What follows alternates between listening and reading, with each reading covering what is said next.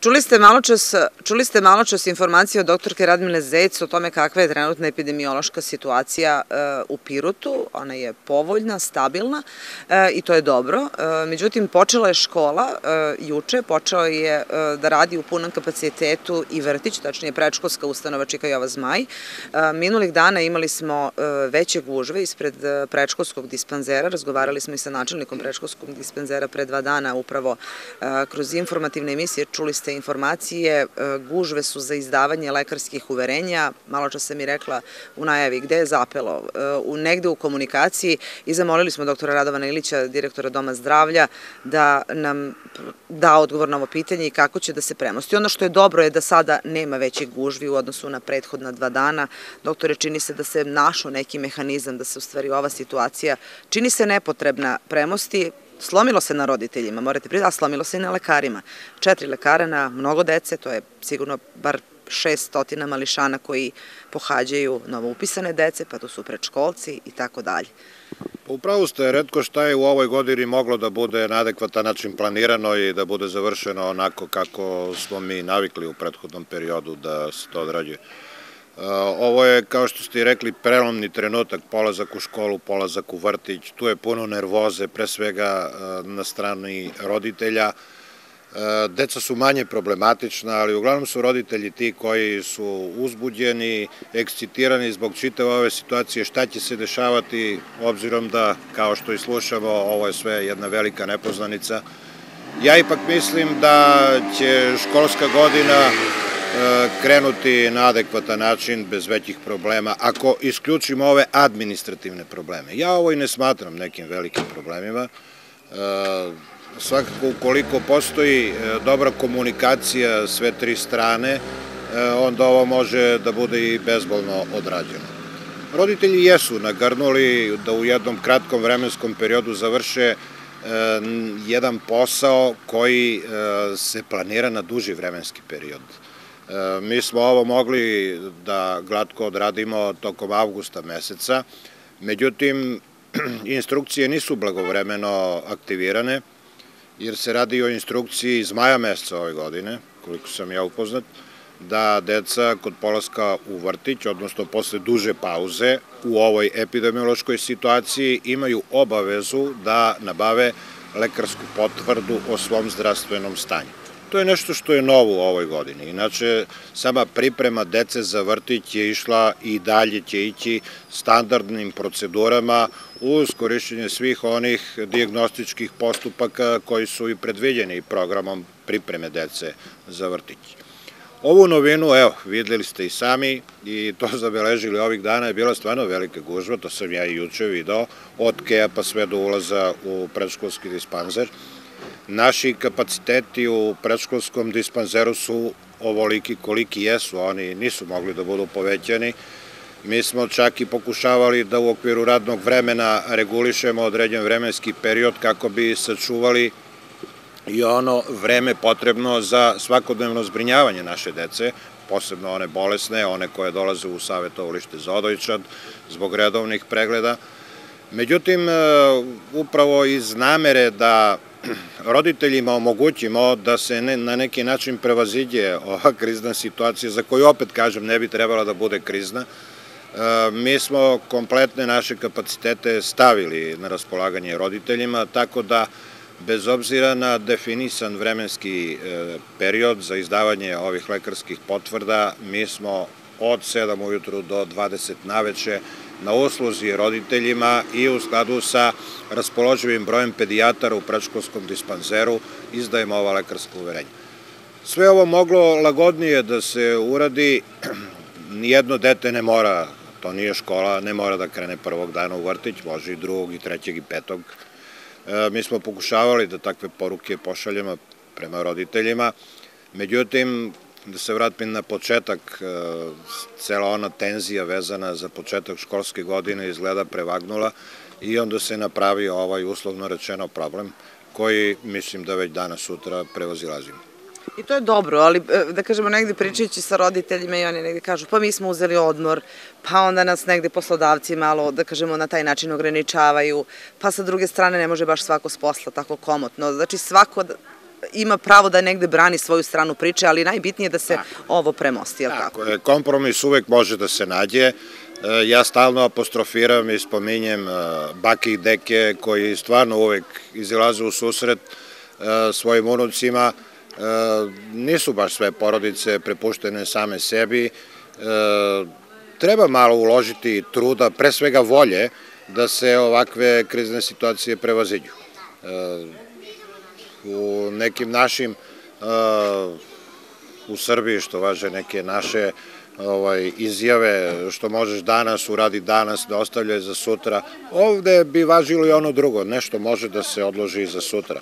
Samo ono što je urgentno, što je hitno, što mora da se danas uradi, to se mora uraditi. Imali smo, opet se ponavljam, u ovoj godini specifičnu situaciju. U predškolskoj ustanovi ova Zmaj, koliko sam čuo, došlo i do nekih kadrovskih promena i to treba uzeti u vidu. Da, i to je negde sigurno usporilo ceo ovaj proces, ili tako? ali e, nije bitno, neće bitno uticati na početak školske godine. Zato ja sam razgovarao i sa e, novom e, direktoricom predškolske ustanove, našli smo taj zajednički dogovor, došlo je do kompromisa, jer Predškolska ustanova i zdravstvena zaštita e, dece predškolskog uzrasta su usko vezani i jedna i druga institucija su i do sada sarađivali i nadalje će sarađivati. Ja mogu opet da ponovim i da pošaljem ovaj, jednu molbu, jedan zahtev, prema, pre svega prema roditeljima, jer sve ovo o čemu pričamo je u stvari zbog roditelja i zbog njihove dece malo strpljenja, malo dobre volje i sve ovo može biti prevaziđeno jako bezbolno. A ja toj deci mogu samo da poželim srećan polazak u, u vrtić, jer je to jedan nezaboravni period u odrastanju svakog deteta i ostaće nezaboravan kod njih. Zato učinimo im ga ovako malo veselijim, malo e, relaksiranijim, da ona to na adekvatan način to žive. Posebno kod njih je to bitno jer e, neadaptirana deca, posebno ona koja prvi put polaze sada u vrtić, e, kod njih je sve ovo mnogo drugačije nego kod one deci koje već imaju neko iskustvo u kolektivnom boravku. Ovde bar roditelji ne bi trebalo da dižu tenziju, nego da na adekvatan način svoju decu pripreme, psihički pripreme za polazak u vrtić i za boravak u kolektivu. Evo, s obzirom da se ja e, negde bacam pogled na vaš sat, bližimo se kraju emisije, mnogo je važno da kažemo e, e, i kakve situacije u školskom dispanzeru imamo, imate odliv kadrova i tu već nastaje problem malo lekara na veliki broj školske dece. Ceo dom zdravlja je u relativno nepovoljnoj kadrovskoj situaciji. U ovoj godini smo imali odliv velikog broja pre svega lekara, došlo je eto do smene generacije, e, međutim nismo mi na adekvatan način e, uspeli da sve ovo ispeglamo, odnosno da zanovimo kadar, jer i dalje to kod nas zavisi od našeg osnivača, od Ministarstva zdravlja. Mi i dalje imamo tu obavezu da preko Republičke kadrovske komisije obezbeđujemo saglasnost. Mi to šaljemo svakog meseca.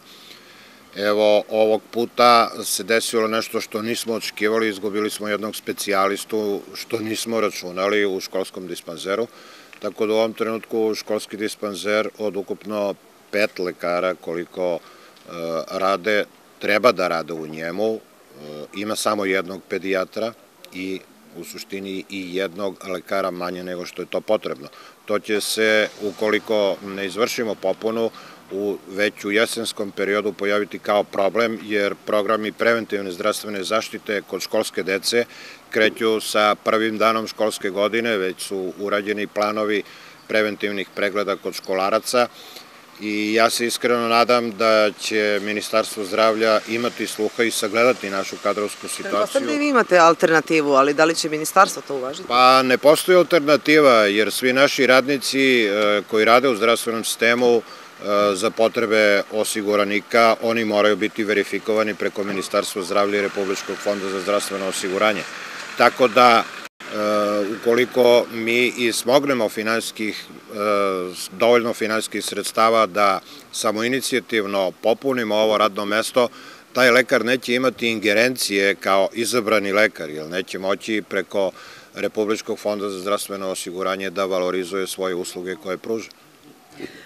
Eto, ostavljamo da pratimo u stvari ovu situaciju i verujem da će se naći vrlo brzo rešenje, da će ministarstvo imati razumevanja. Jedan lekar, specijalista u školskom dispanzeru na toliko školske dece, zaista nemoguća misija, morate priznati. Nemoguća misija, to ste u pravu. Nešto što je pogodno vezano za taj pravilnik ko može raditi u školskom dispanzeru, To je nešto što je povoljno, jer kod školske dece njihovo zdravstveno zbrinjavanje može raditi pored pedijatra i doktor medicine, dakle lekar opšte medicine, bez specializacije. Međutim, e, čini mi se da ne treba e, mnogo pametovati i zaključiti e, kako se to može negativno odraziti na kvalitet pruženih usluga, pre svega u oblasti preventivne zdravstvene zaštite koje je imperativ celokupnoj delatnosti primarne zdravstvene zaštite. Doktore, hvala vam na ovim informacijama za sada. Naravno, e, pratit ćemo situaciju. Ulazimo, da kažemo, u, u vreme kada smo mnogo više u kolektivu, kada su deca u kolektivu. Važno je pratiti epidemiološku situaciju, poštovati mere i eto, pratit ćemo i sve ovo što je vezano za kadrov. Tako je, jesen, zima je karakterističan vremenski period za širenje kapljičnih infekcija. E, COVID-19 infekcija pripada toj grupi, ali mi ćemo se, kao što smo se i tokom ovog leta susretali sa ostalim sezonskim e, bolestima, infekcijama, To će se desiti sad tokom jeseni i tokom zime, kada i mi više boravimo u zatvorenom prostoru, a sam taj zatvoreni prostor je povoljniji za prenošenje svih ovih kapljičnih infekcija.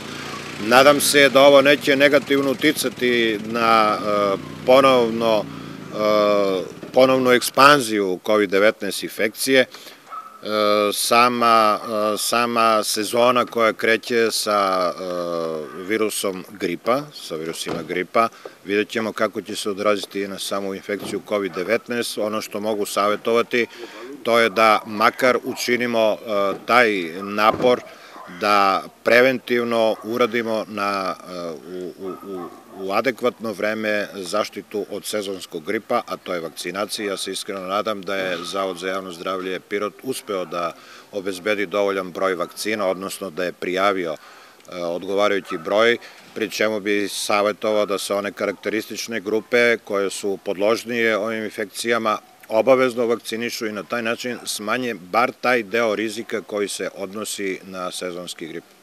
Hvala vam još jednom. Hvala vama. Čuli ste, poštovani gledalci, e, najnovije informacije iz Doma zdravlja. Eto, polako se ovde, da kažemo, negde smanjuje gužva, roditelji će završiti svoje obaveze, deca će na vreme poći u vrtić negde. Potrebno je da i u ovim, da kažemo, uslovno rečeno normalnim uslovima se prilagođavamo situaciji i da imamo strpljenje jedni za druge.